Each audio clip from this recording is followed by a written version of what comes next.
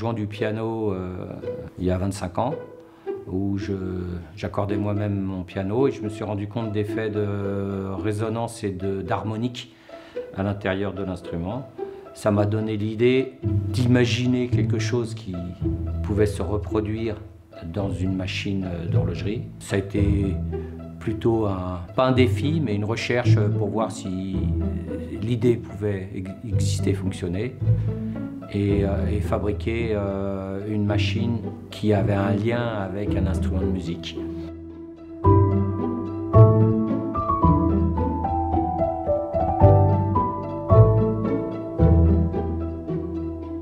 Alors, euh, la résonance, c'est une montre ronde à remontage manuel trois aiguilles en titane.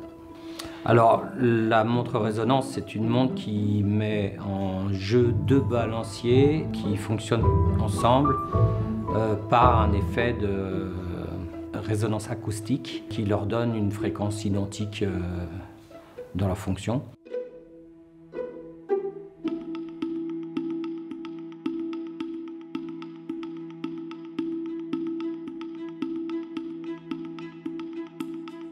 J'ai passé un peu de temps à développer euh, euh, les idées, à faire des essais à l'atelier. Après, il y a eu du travail, après, il y a eu des crises.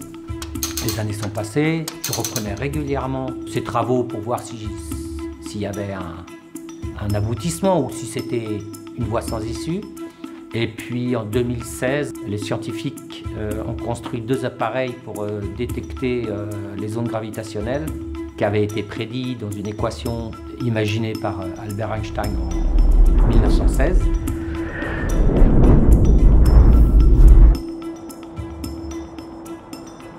Et je me suis dit, tiens, ce serait intéressant de finir quand même de travailler sur cette résonance. Donc euh, je m'y suis mis de façon euh, concrète depuis 2016. Et en 2019, on avait un prototype qui permettait de constater qu'une certaine construction technique permet euh, la liaison euh, de la résonance acoustique entre deux balanciers spiraux. Et euh, c'est rigolo après de voir les deux balanciers qui ont chacun leur propre fréquence, qui se mettent à, battre ensemble de façon très stable. Ensuite, au niveau théorique, ça pourrait avoir un intérêt de chronométrie parce qu'un balancier tout seul, il a une dérive. Euh, un autre balancier euh, tout seul à une autre dérive, en les mettant ensemble et en les synchronisant par ce système résonance acoustique, euh, les deux balanciers créent une moyenne ou créent un, ensemble dans lequel il y a des énergies qui s'échangent, qui réduisent les perturbations extérieures. Et maintenant, on vit dans un monde où on a des horloges atomiques, on observe des étoiles qui sont d'une stabilité effroyable. Donc c'est pas vraiment important. Mais pour le fun intellectuel, je trouve que c'est vraiment un, challenge. Puis il y a eu beaucoup de réflexions sur le boîtier. On pouvait faire un boîtier très et alter euh, avec un style euh, qui commence à se reconnaître dans le sens où c'est pas extravagant, mais c'est toujours un peu décalé.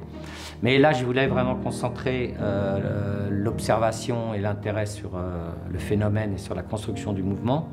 Du coup, j'ai opté pour une boîte ronde très classique. Je dirais, j'ai fait un, gros travail d'essayer de m'adapter euh, au classicisme horloger, quatre cornes, une couronne, une boîte ronde. Du coup, j'ai voulu qu'on puisse observer les balanciers sur leur tranche, mais sans avoir à enlever la montre et sans avoir à, à se plier le coude pour regarder. Donc j'ai déplacé la couronne de 3h à 9h pour laisser libre toute la partie euh, de la boîte entre les deux cornes du côté 3h et euh, ouvrir la boîte et mettre un saphir pour la vitrer pour que ça fasse un peu comme une vitrine de musée ou euh, un bâtiment comme, comme le Grand Palais qui est entièrement vitré, qu'on pourrait voir de tous les côtés qu'est-ce qui se passe dedans. Et c'était un petit peu le, le jeu de, de mettre en avant tout ce qui est à l'intérieur plutôt que le boîtier. Et au final, c'est un petit peu par chance que euh, la montre soit née comme ça. Elle aurait pu être totalement différente, mais c'est un mélange de l'inspiration des horloges d'édifice avec des grandes roues délicates, très fines, du tourbillon dans lequel on avait déjà mis cette complication, et euh, la volonté aussi de montrer notre euh, capacité de faire du, du bon travail.